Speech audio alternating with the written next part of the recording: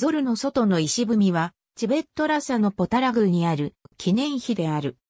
763年、トバンのチムシャンやシシュディンとンガンラムダジャルコンが20万の大軍を率いて、長安を攻め、唐の大宋を追い出し、後部王李将広氏を皇帝とし15日後に撤兵した。同碑はこの戦役を記念して建立されたものである。